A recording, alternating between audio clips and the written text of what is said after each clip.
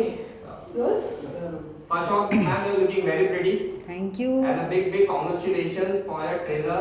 Uh, the audience getting a huge response for the trailer. So, what kind of response you are getting for your trailer and uh, response for the, your friends and audiences? A very very warm response actually मैंने इतना भी expect नहीं किया था, क्योंकि हम लोग काम कर देते हैं और फिर आगे बढ़ जाते हैं, क्योंकि शायद that's the most sensible way to live your life as an actor because if you get to attach to things that you do then it might not be so productive but ever since I put the trailer out there's been such a warm response people have written to me from everywhere saying that they've really found it interesting really looking forward to watching the film and even friends who I hadn't told them um, about the film so much.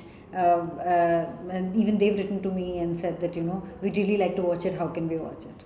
Okay, although you said that uh, you are getting a good response, so let us know something about the film. Uh, tell us something about the film, you know, uh, to our audience. I think you should say it. I, the director of the film should Oh, have the first and the last one. All right. Okay. Uh, I mean, uh, okay. The film is about uh, how um, this boy, uh, you know, he he uh, dials seven eight six. ये सोच के कि वो that is God's number and it connects to a CRPF jawan. And how from then onwards, because his father is missing, his life completely changes. And he starts thinking and believing in hope and how that comes across. That is what Hamid is all about. Okay, so how did you got the idea from, you know, uh, dialing 786 and uh, like going through CRPF hmm. officer? So how did this idea came into your mind? Um, I was in search after my second film. Uh, I was in search of uh, ideas. To me, you know, I was looking at and searching for ideas. ही नहीं रहा था कोई. And I also believe a lot that it comes to you. It comes by itself. You know, तो अजीब है ये seriously. तो uh, मैं ढूंढ रहा था और कुछ कहीं आइडियाज़ नहीं आ रहे थे और स्क्रिप्ट्स पढ़ रहा था it was just not happening So that was a time was I was feeling very low. A friend of mine, Srinagar say he called me up and said that uh, he saw a play, uh, you know, a day before, and it talks about how this boy, a Kashmiri boy, his father's missing, and how he dials 786 and it connects to a Kashmiri Pandit.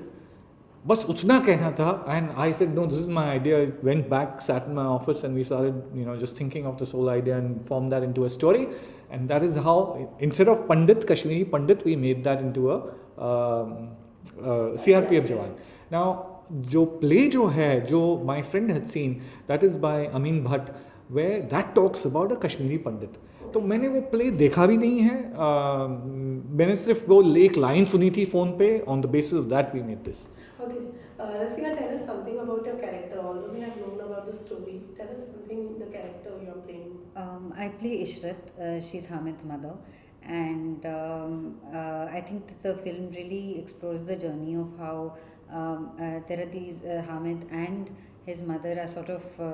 Uh, uh, uh, you know have a have a distance between them because of the grief that she's going through and because he's not being able to reach out to her. So usually हर हर film में एक relationship ऐसी होती है जो बहुत अनक्वेश्चनड होती है और वो है मदर और चाइल्ड की relationship that it's always taken for granted that this relationship is always going to be full of love and care and बहुत सारी फ़िल्मों में ज़्यादातर ऐसी ही रिलेशनशिप दिखाई जाती है। लेकिन इस फ़िल्म में it it really shows how Uh, the grief that Ishrat was experiencing, even snatched away from her uh, uh the joy of being a mother or uh, the the instinct of caring for your child. and really, the journey of the film is is Hamid's film is Hamid's journey to look for his father and Ishrat's journey of dealing with grief and for trying to find closure. And I think the film ends on a hopeful note where. Uh, the, uh, the same grief that had separated them sort of unites them. Okay, so so uh, the release date had been changed. You know, uh, first it was something else, and now it's something else. So, what was the reason behind changing the release date? Um, because of the attack which happened and uh, what the whole country went to this turmoil, uh, that was one reason which we didn't want the film to uh, to release at that time because it would be too early because of what we suffered. Uh, you know, and suddenly we're coming up with a film where we are, which is based in Kashmir. So it, we thought, and my producers, you know, they definitely thought that okay, that is not the right uh, time. That that's one of the reasons why we postponed it. Okay. Also, the story has a very soft side of you know C- CRPF uh, officer Hmm. and also Kashmir. So, are you going to release it in Kashmir as well? The movie. Yes, we are. We are Jammu में है, मगर श्रीनगर में तो कोई cinema halls है नहीं तो उस वजह से वहाँ पे नहीं है बट अगर होते तो हम ज़रूर रिलीज़ करते। बल्कि my producers that's Yoodlee films उनकी they want to screen this film there to show to the people out there because what we talk about is hope and that's what we need to convey and that is what is also which we want you know all india to release for this reason ke it's got nothing to do with jo hai. It is talks about hope and that's the reason why okay जैसा Rasika ma'am आपसे जानना चाहूँगा ये film festival में release हो चुकी है बहुत ही अच्छा अप्रिशिएशन मिला है वहाँ पर। तो आपने बहुत बार देखा कि जब भी फ़िल्म फेस्टिवल में पहले रिलीज़ हो जाती है मूवी कमर्शियल में इतना सक्सेस नहीं मिल पाता। तो उसके बारे में क्या कहना चाहेंगे? नहीं नहीं ये आप ये आपके आपकी माइंडसेट की खामी है। मैं आपको बता रही हूँ ऐसा कुछ नहीं होता। ऐसा अ, बिल्कुल नहीं है कि अगर कोई film film film festival circuit में सक्सेसफुल हो, वो कमर्शियली सक्सेसफुल नहीं होगी और उसका बिगेस्ट एग्जांपल है गली बॉय क्योंकि वो बर्लिन फ़िल्म फेस्टिवल में गई थी और अभी सबसे बड़ी कमर्शियल हिट है। सो ये ये ये ये ये थिंक ये ये बदल चुका है। और आपको ये थिंकिंग बदलनी पड़ेगी। नहीं। ये टैग हट चुका है अब आप हाँ, वापस लगा ये रहे टैग डेफिनेटली हट चुका है मगर एक एक था एक ज़माने में आ, लोग ये कहते थे कि अगर कोई डायरेक्टर को नेशनल अवार्ड मिल जाए तो मतलब उसकी लाइफ ख़त्म। और वाकई ये होता था क्यों? क्योंकि अगर आप नेशनल अवार्ड विनिंग डायरेक्टर हो मतलब इंडिया का सबसे बड़ा अवार्ड है वो भाई और आपको अवार्ड मिले मिला तो आप उसी टाइप की फ़िल्म बनाओगे और जो रोने की होगी सीरियस होगी तो अभी वो चेंज हो गया है। तो फेस्टिवल्स में नॉट नेसेसरी कि वैसी टाइप की फ़िल्म जाती हैं। अब जैसे रसिका कह रही हैं गली बॉय गई हाँ वो भी गई। और अच्छी खासी दूसरी फ़िल्में काफ़ी घूम चुकी हैं फेस्टिवल्स तो बात ये नहीं है कि वैसा ही है और अगर नेशनल अवार्ड मिला तो वो डायरेक्टर दूसरा काम नहीं कर सकता तो। ओके आपकी इक्वेशन कैसे है बच्चे लोग के साथ? क्योंकि हमने इसके पहले भी देखा स्कूल बैग में भी बहुत ही अच्छा अप्रिशिएशन मिला है और अब हामिद में भी। कैसे इक्वेशन क्योंकि हमने बहुत जन एक्टर से सुना है कि बच्चों से मैचअप करना बहुत डिफ़िकल्ट हो जाता है।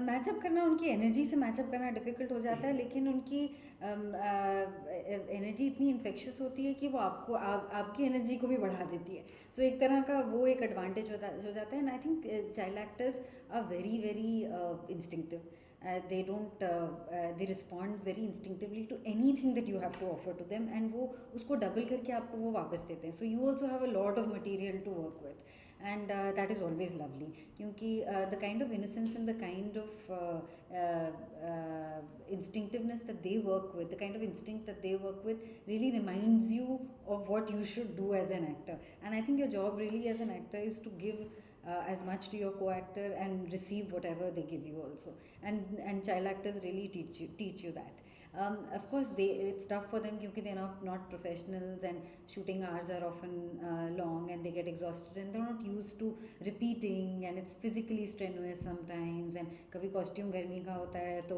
मतलब फ़िल्म में एक्चुअल गर्मी है फ़िल्म में सर्दी है तो आपने बहुत सारे स्वेटर्स पहने होते हैं तो ये सब चीज़ें होती हैं they as they they need to get used to these things uh, children are you can't expect them to always be laughing and and being professional always so some children adapt to it easier than other children talha was uh, a lovely very well behaved child to work with and also very interesting i had a lot of fun with him off set as much as on set uh, so we really helped each other out he is always very curious कि बॉम्बे की film industry में क्या चल रहा होता है तो he was very disappointed कि मुझे उससे ज़्यादा कोई कहानियाँ नहीं पता इनफैक्ट उससे मुझे मुझसे ज़्यादा पता था कि बॉम्बे की फ़िल्म इंडस्ट्री में क्या हो रहा है और मैं कश्मीरी एक्सेंट लर्न करने की कोशिश कर रही थी तो अ, अ, वो कई बार मुझे थोड़ा हेल्प भी कर देता था तो so that was so we had we had an interesting co-actor relationship okay sir जैसे कि मूवी कश्मीर के बैकड्रॉप पे बेस्ड है और अप्रिशिएशन तो बहुत मिल रहा है और हाल ही में जो सिचुएशन हुए हैं पुलवामा अटैक के उसकी वजह से आपने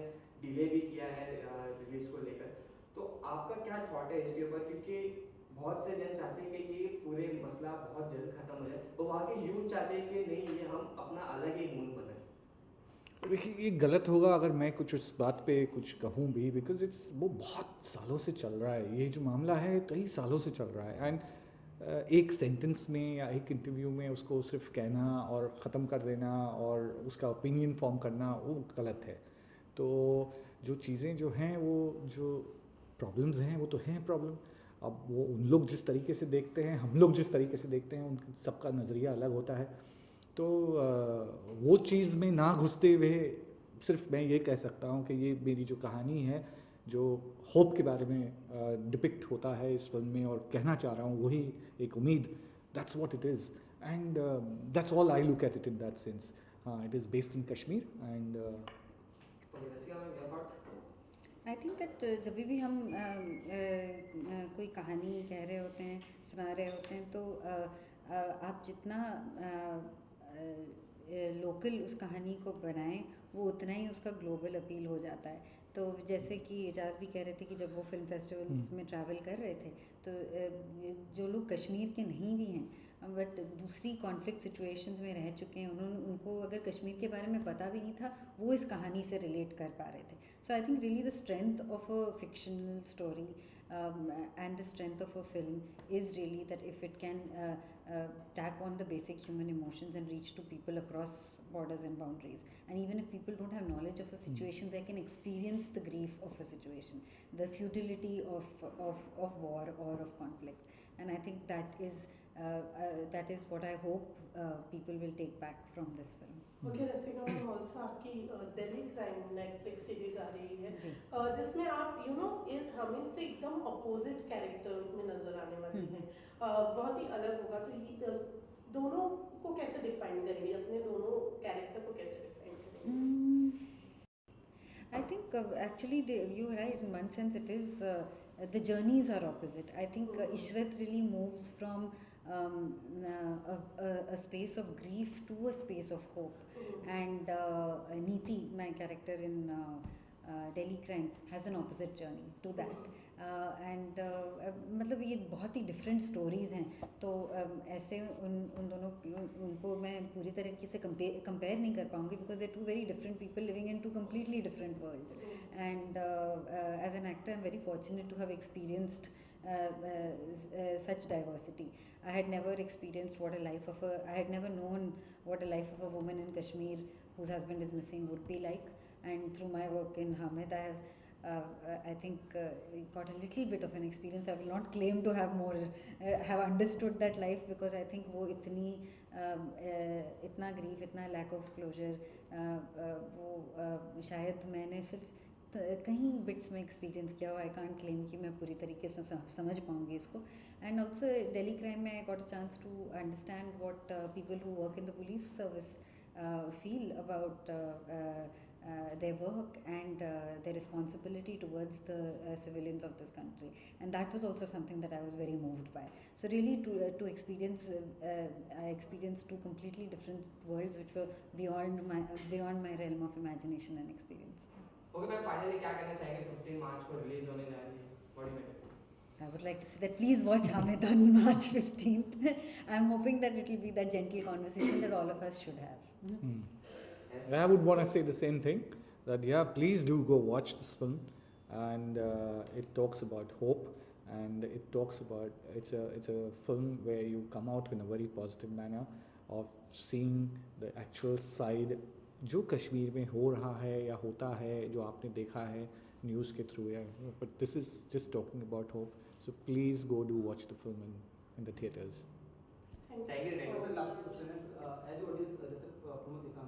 कहीं ना कहीं रोटे खड़े करते हैं हमारे कि बच्चा मासूम बच्चा पूछता। अल्लाह का पूछता नो आपने बड़ा अच्छा ही उसको दर्शाया पर्दे पर हम्म। तो किस तरह की बॉन्डिंग बच्चे के साथ आपका कितना करना बच्चे को?